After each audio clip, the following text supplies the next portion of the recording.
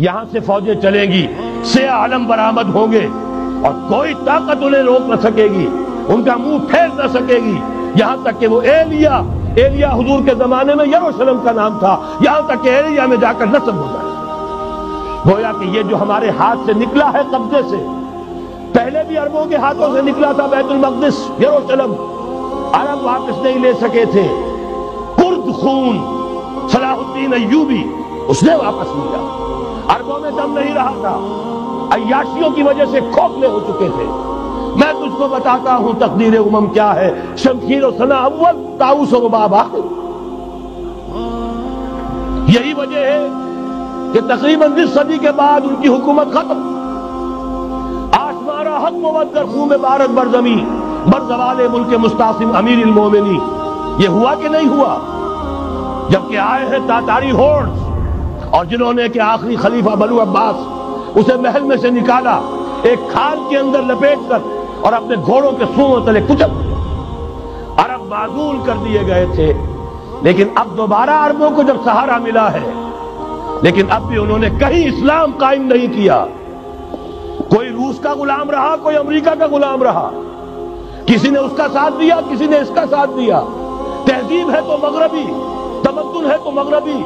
वजा में तुम हो नसारा तो तमद्दुन में हनूद। ये मुसलमान है जिन्हें देख के शर्माए यहूद। यही मामला जब उनका हुआ तो अब अल्लाह ताला की तरफ़ से उनके ऊपर वो आजाब की भट्टी गर्म होने वाली है। लेकिन इसके बाद फिर यहाँ से जाएँगे वो, जो उनकी मदद करेंगे, और ये एलिया को वापस लेने वाले, ये मस्जिद से चलने वाले लश्कर होंगे। ये इसी इलाके में जब इनकलाब आ जाएगा, ये इलाका खुरासान और पाकिस्तान, जब यहाँ निज़ाम खिलाफत कायम होगा यहाँ से इस्लाम की तोसी होगी।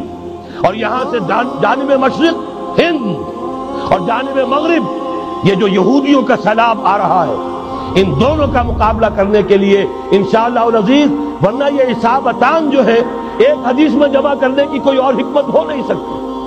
वरना तो हिंदुस्तान पे कई लश्कर आए हैं। लेकिन यह कि दर हकीकत, उसी वक्त, जबकि आलम अरब में वो भट्टी दहकेगी, उसी वक्त यहाँ इनकलाब आ चुका होगा। एक तरफ़ यहाँ से मदद के लिए लश्कर जाएँगे कि जो मुसलमान अरब जो है, उनकी मदद करेंगे। हज़रत मेहदी के झंडे तले लड़ेंगे। हज़रत मेहदी की हुकूमत को मुस्तकम करेंगे। जो अतमून अली महदी। दूसरी तरफ़ वो हिंदुस्तान की तरफ़ पेशकदमी करेंगे। और यहीं से, जैसे उस वक्त सैलाब निकला था जजीरा नुमा अरब से, एक दानी तरफ़, एक बाई तरफ़, ईरान, अफ़गानिस्तान, तुर्किस्तान, उधर मिस्र लीबिया अलजायर मराकश बारितानिया इसी तरीके से इंशाला इसी इलाके से इसका आगाज़ होगा और बात आगे बढ़ेगी। तो गब असर हासिल क्या है? यह होना है, पिछले आसार साबित कर रहे हैं कि होना है। हुजूर की अहादीस बता रही है कि यहीं से होना है। हुआ सिर्फ़ यह है, हम भटक गए। हमें अपनी मंजिल याद न रही। मैं तो बहरहाल उन लोगों में से हूँ जिन्होंने नारे लगाए थे। पाकिस्तान का मतलब क्या? ला इल्लल्लाह।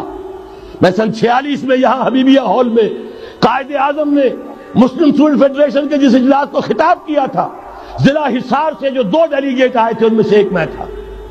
मैंने बहरहाल उस तहरीक में भी हिस्सा लिया है। एक नन्हे कारकुन की हैसियत से लिया है। फिर हालात को बदलते अपने आँखों से देखा है। हम कहाँ से कहाँ जा पहुँचे हैं? ज़रूरत सिर्फ़ इस बात की है कि आज हमारा हाल यह है, हमारी क्यादत, हमारी सियासत उन लोगों के हाथ में है कि वो फरेब खुर्दा शाही के पलाहो करगसों में, उसे क्या खबर के क्या है, तब वो ताबे जावे दाना, इनकी तहजीब मगरबी, इनकी जहनीत मगरबी, इनकी वजाकता मगरबी, इनका तमद्दुल मगरबी, इनकी सोच मगरबी, इनके सारे अतवार मगरबी